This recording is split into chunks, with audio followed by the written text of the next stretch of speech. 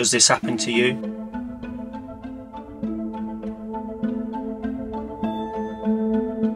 Is your beautiful paint job being spoiled when you remove the tape?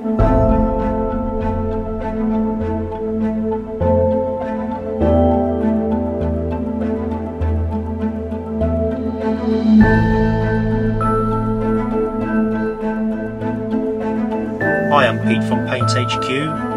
Stay tuned and I'll go through the masking tapes I use and on what surfaces I use them on.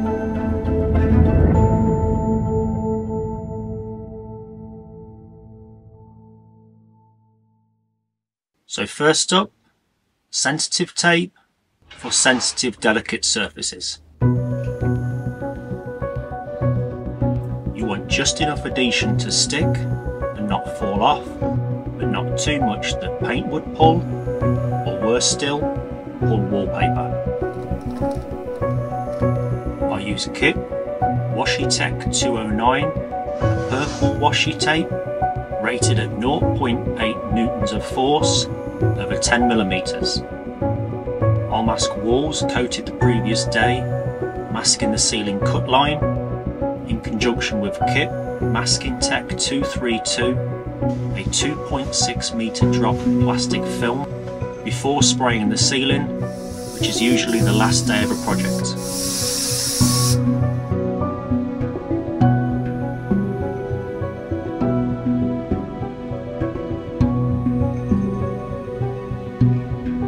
Next up is Frog Tape Yellow. I'll use this to mask cured paintwork, such as skirting, architrave, especially if using a brush roller to coat the walls. The patented paint block technology gives added protection from paint bleed. If I'm spraying the walls and not using a brush, I'll use KIP Washi Tech 238, a premium gold washi tape. A professional product valuable to me as a paint sprayer. Masking surfaces sprayed and cured from the previous day, where I'm wanting to spray a colour change or airless spray the walls with emulsion. I'll also use KIP 238 to mask the edge of hard floors when spraying the skirtings, plus hard surfaces such as tiled walls and glass panel doors.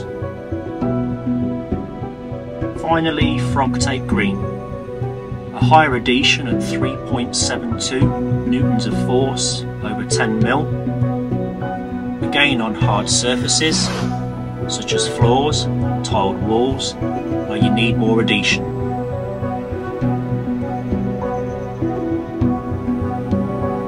That's it, the tapes I use to mask for sharp lines. So if you have questions about using these products, any aspect of masking, or using a paint sprayer, please comment your questions, like this video, and subscribe to Paint HQ. It's all very much appreciated.